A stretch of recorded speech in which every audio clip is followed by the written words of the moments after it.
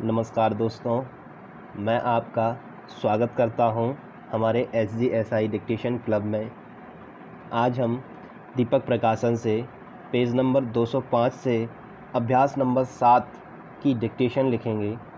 इस डिक्टेशन की गति 100 शब्द प्रति मिनट रहेगी। डिक्टेशन में काफ़ी सारे शब्द धार्मिक स्थान से रिलेटेड हैं, नेताओं के नाम हैं, तारीख हैं, इसलिए आप ध्यान से सुने फुल कंसंट्रेट होकर लिखें और आउटलाइंस को क्रिएट करने की कोशिश करें। यदि आपको किसी भी प्रकार की समस्या का सामना करना पड़ता है या फिर कुछ और आप सुझाव देना चाहते हैं तो मुझे कमेंट बॉक्स में कमेंट करके अपना सुझाव दे सकते हैं। चलिए लिखते हैं। डिक्टेशन रेडी लिखिए।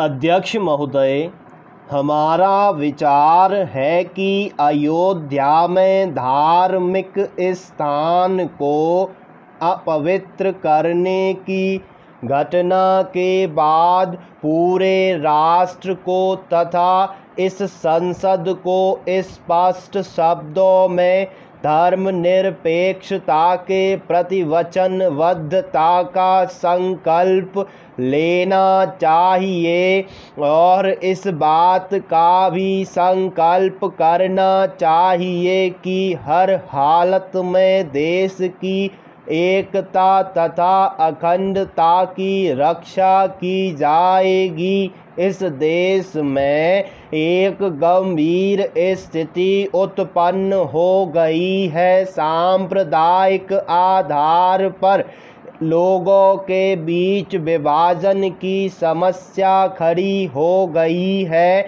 हमारी चिंता इसलिए नहीं है कि यह केवल एक मंदिर और मस्जिद का झगड़ा है, बल्कि हम इसलिए गंभीर रूप से चिंतित हैं कि एक राजनैतिक दल तथा इसके घनिष्ठ सहयोगी संस्थाओं से क्रियाकलापों के कारण इस देश में धर्मनिरपेक्षता के पावन सिद्धांतों पर कुठाराघात हुआ है। ऐसी परिस्थिति में हम चाहते हैं कि इस देश की सभी धर्मनिरपेक्ष ताकतें मिलकर सांप्रदायिकता के इस जहर का मुकाबला कर। यह बहुत दुख की बात है कि अपने दल की ओर से बोलते हुए श्री अटल बिहारी वाजपेयी जी जैसे वरिष्ठ राजनीतिज्ञ ने उस गंभीर घटना की निंदा नहीं की, जिसके कारण दुनिया के समक्ष हमारे चेहरे पर कालिक पुत गई थी। मैं बार बार यह प्रश्न करता रहा हूँ कि ऐसी क्या जल्दबाजी थी कि इस मंदिर का निर्माण छः तारीख को ही शुरू किया जाए। इसके लिए उन्होंने वार्ता भंग कर दी।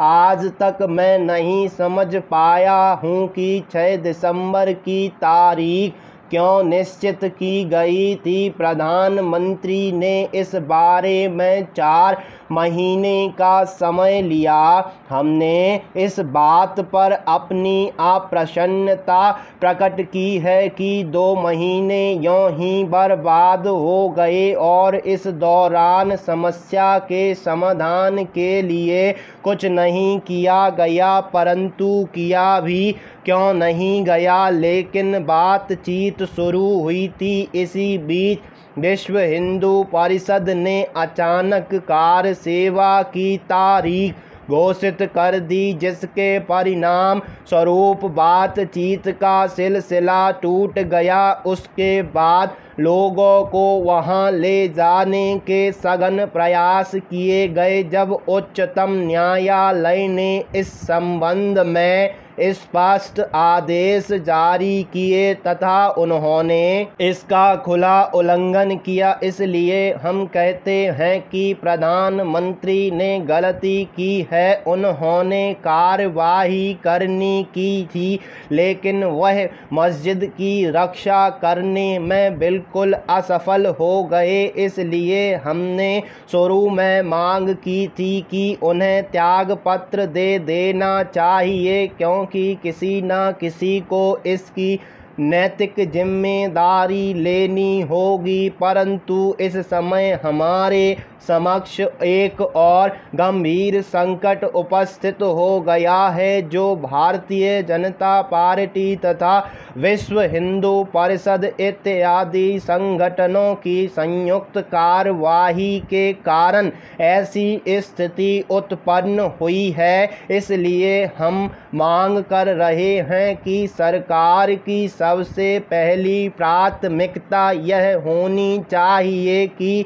देश में विधि और व्यवस्था स्थापित की जाए और न सभी व्यक्तियों, विशेषकर अल्पसंख्यकों को उचित संरक्षण प्रदान किया जाए। यदि उस मस्जिद का निर्माण किया जाना है तो उस परिसर को उन संगठनों को दे दिया जाए जो मस्जिद का निर्माण करना चाहते हैं।